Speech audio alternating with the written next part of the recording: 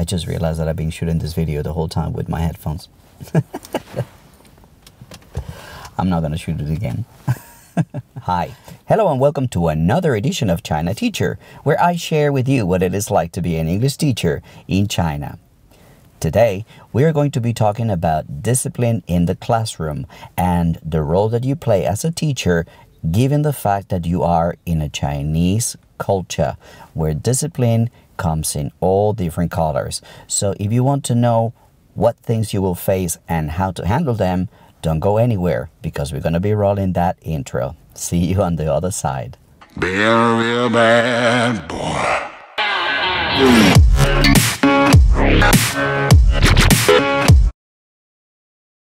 Welcome back guys. It's the second video of 2018 and I hope that you're still hanging on to your New Year's resolutions, okay? I hope that you still have them by the fridge with a very strong magnet and you stick to them up this year, okay? So when talking about discipline, um, there's there's two events that have happened in the last month um, that I wanted to that kind of like bring this topic to mind. Um, about a month ago, um, in the school where I teach, there was a kid who stabbed another kid. Uh, we're talking like minors here, so I'm not gonna show any videos or anything or any reports, but that's that's an element of discipline that gets way way out of hand. So yeah, uh, the police was involved and all kinds of things. So, what would happen if you were the teacher uh, in that classroom? Okay, so we're going to talk a little bit about those things. And another thing that happened was I had a situation with a kid in my in my classroom that um, this kid is very playful, so to speak. Um, and uh, she likes to do something that we're going to discuss. She likes to punch the teacher, hit the teacher, um, it is something that you, you find a lot here in China. And I should say that um, having taught in many other countries, um, I really haven't taught kids any other any other place except America. I was for, for almost a year there, and I worked with Mexican kids, um, grade two or three, and none of them had this this thing about hitting the teacher, punching the teacher, kicking the teacher. It's only here in China that I have seen this. Uh, I may be wrong. If I'm wrong, please correct me. But um, I, I to me, this is surprising. So we're going to talk a little bit about that. This girl likes to punch me, likes to hit me, likes to kick me, likes to any any chance she has to to kind of hurt me, she will. Of course, in a playful way. She's not doing it in a mean way. Um, but then we're going to talk about how to draw the line. The situation that happened is that I, as I was collecting the books because I wanted to do an activity um, with all of them paying attention to me, so I collected the books. I asked her, "Hey, can I have your book?" And she just threw it in my face, and like the the top of the book, like the the the thick part, right, the the hard part, hit me on top of my face. So I just grabbed the book and threw it away as a reaction, and I yelled at her. And I hey, I told her in Chinese, you have no manners. And um, we're going to talk about how I address discipline situations um, and, and what you could do when you're faced with situations similar, similar to that. Um, what that happened was that the since we have cameras in the classrooms, the father actually asked that we give him the video because he was going to post it on media because I was cussing his his daughter um, psychological damage. I did. I gave him the video. Um, to my knowledge, nothing has gone online. I haven't heard anything from anybody. You know what I mean? It's like um, we talked to his wife, who is also a teacher, and well, she was understanding of the situation. So I apologize for my reaction. I apologize for being so um, uh, loud and maybe so intense um, because we're going to talk about one of the strategies that I use, one of the things that I use when I have a, a, a discipline issue that goes beyond uh, what I find acceptable. But the interesting thing was that the father saw nothing wrong with what she was doing. Uh, she was like, it's fine. She's just being playful. So that's what we're going to talk about today, okay? How to deal with the difference in perception in terms of what's okay and what's not okay, what's acceptable, what's not acceptable, okay? So let us jump in into some of the topics that I think are important for discussion. So, one of the main issues for me is to determine what is a transgression to to what is acceptable. For me, there are three things that I'm trying to to obtain. I want the kids to be quiet, uh, to be silent, to listen to me, so I don't have to force my voice too much.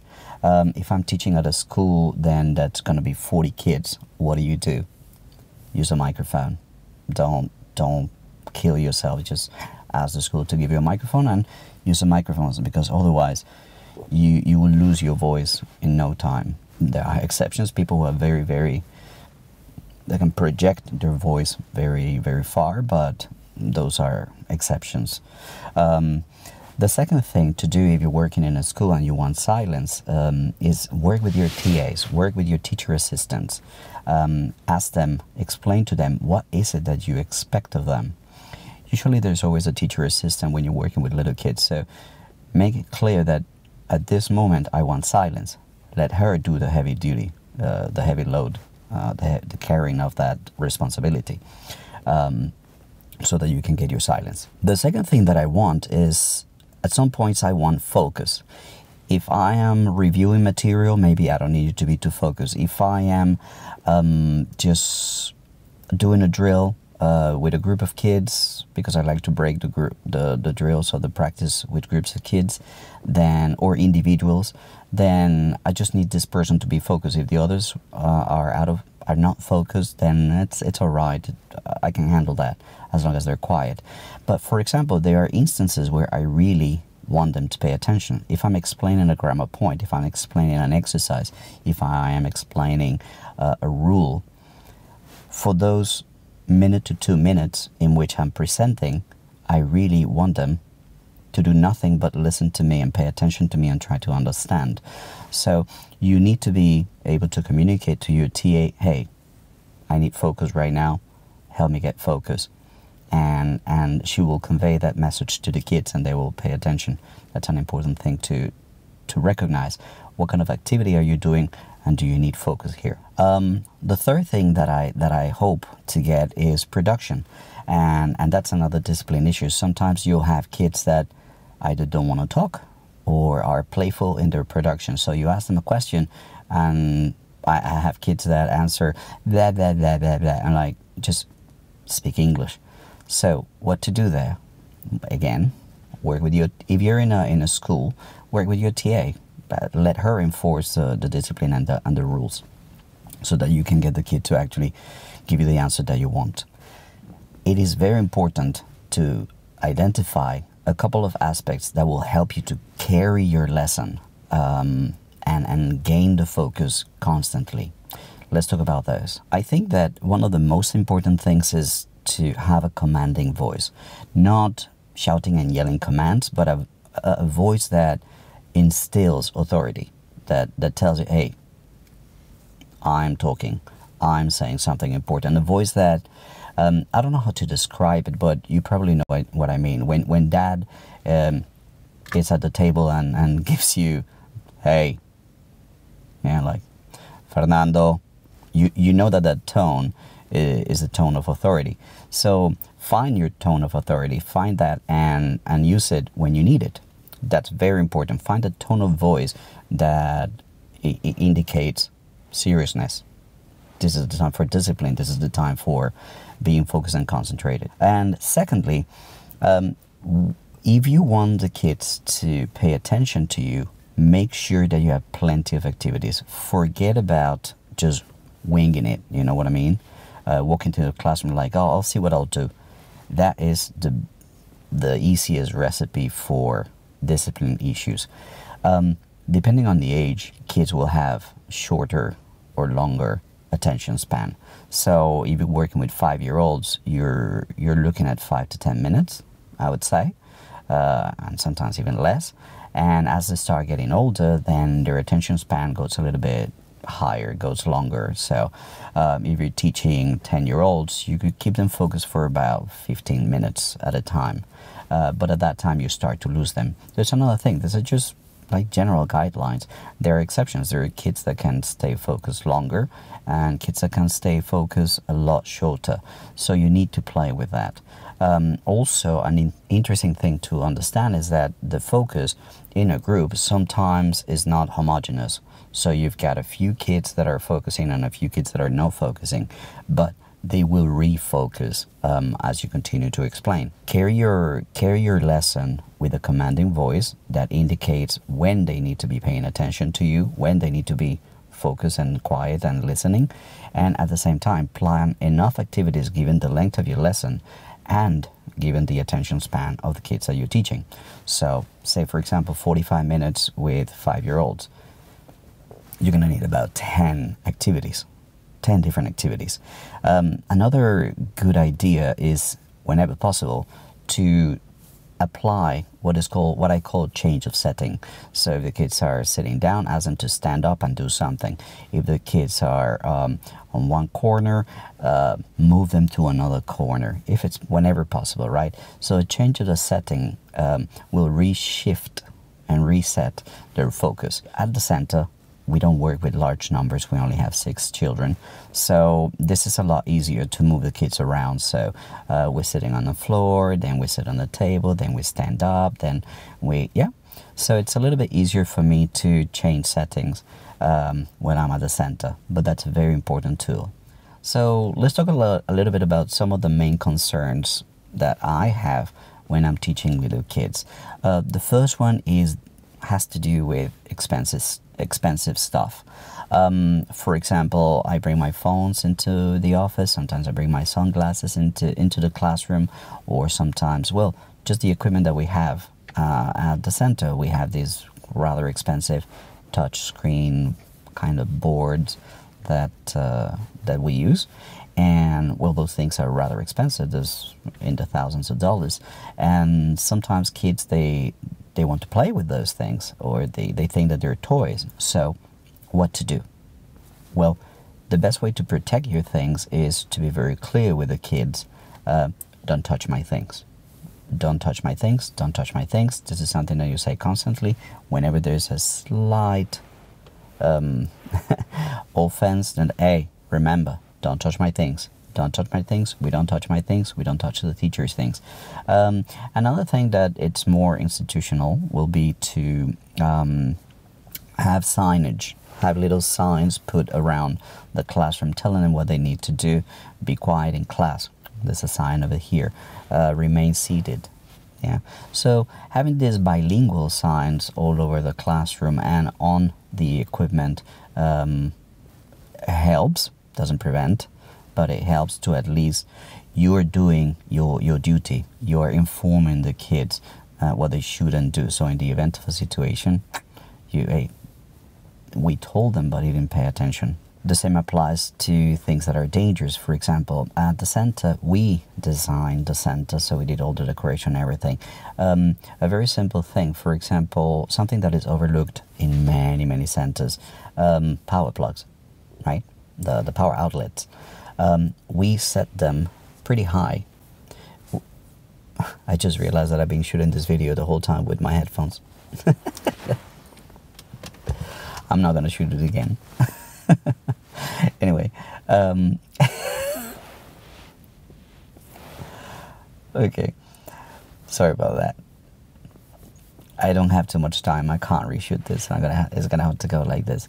Um, so the power outlets, as I was saying, uh, they're placed at about 1.5 or 1.8 meters, so they're out of reach of little kids. They won't play with them, they won't touch them or anything like that. But there are other things that might be dangerous, like for example fire extinguishers, or we have um, windows that open to where the classrooms are on the second floor, so we have bars and whatnot. But that might be dangerous. So kids that are that are um, standing on the chairs and they might fall. You know, it, all these things that become a liability are, are part of what I call discipline. I'm very, very forceful in enforcing anything that will keep the kids safe. Um, stairs, no running on stairs, no, none of that, right?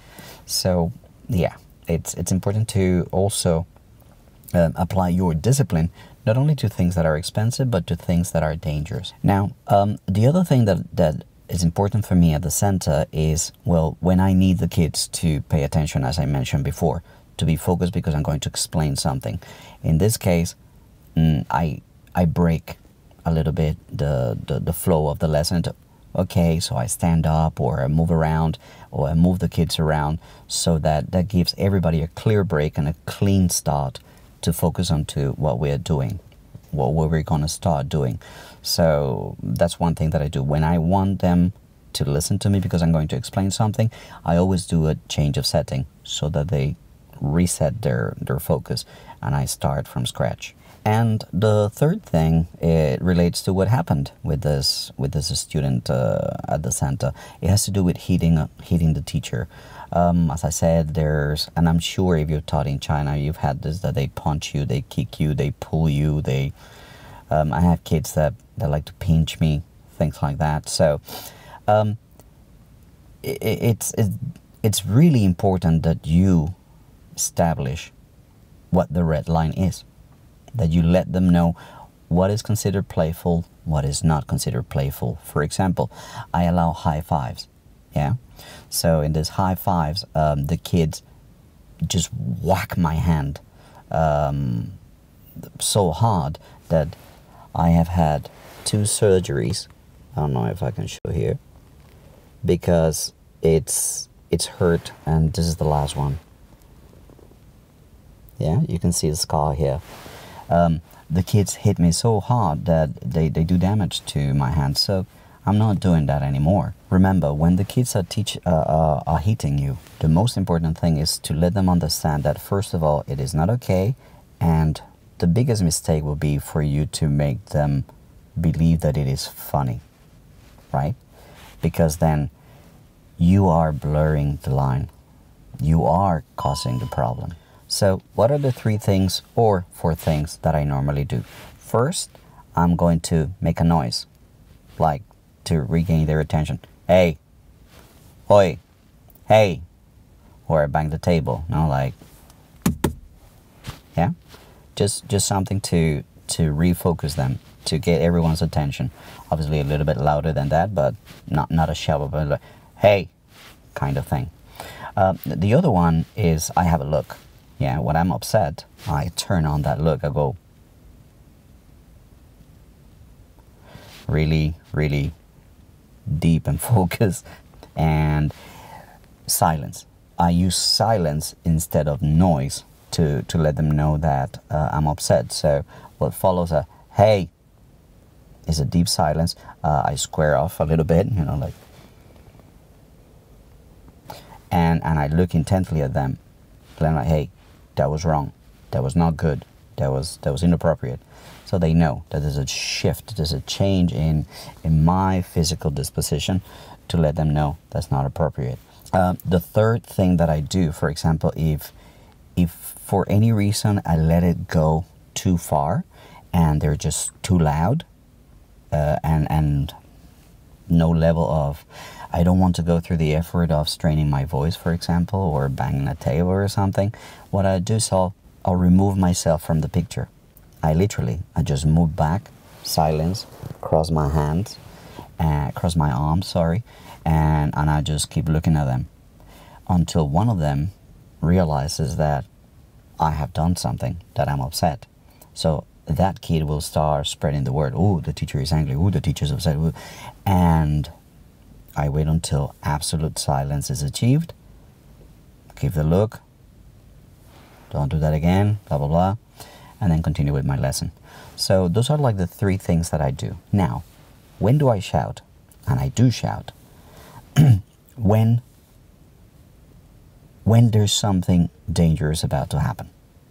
When something has really, really crossed the line, uh, is causing pain to me or somebody else, or, or is dangerous to me or to somebody else, that's when I will shout because I want the action to stop immediately. I cannot risk um, the, the, the kid hurting himself, hurting somebody, or hurting me. So that's when I shout.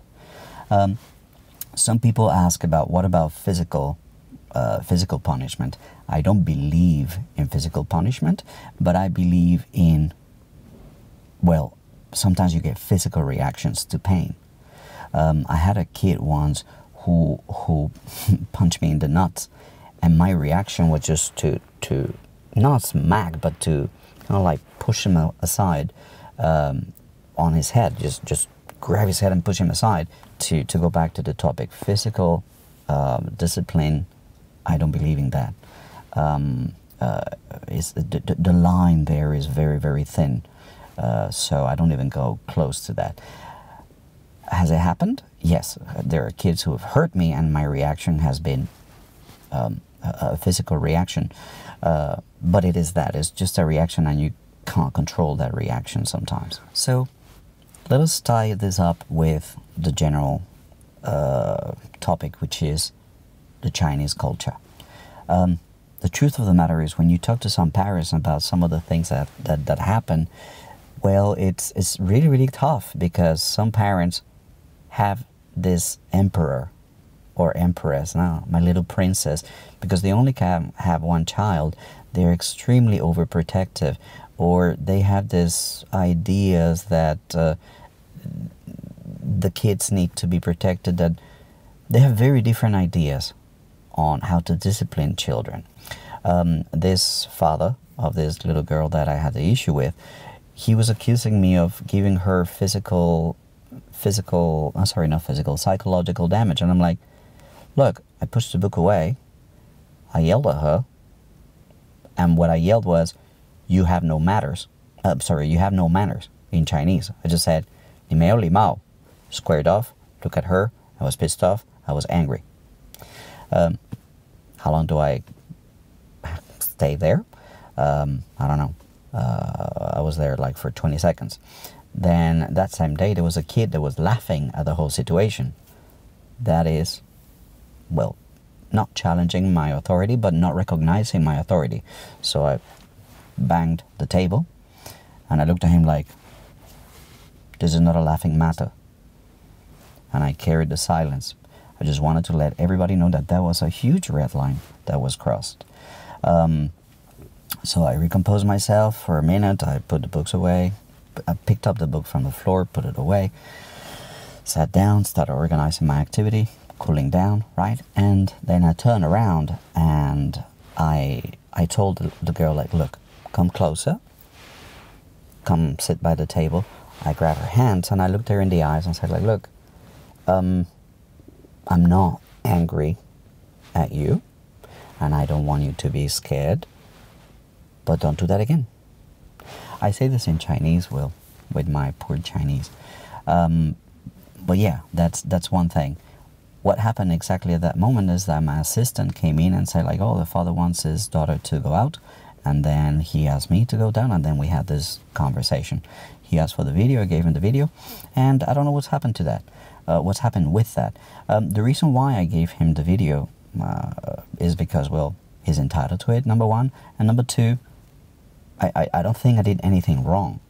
I mean, I, I didn't hit the kid, I didn't punch the kid.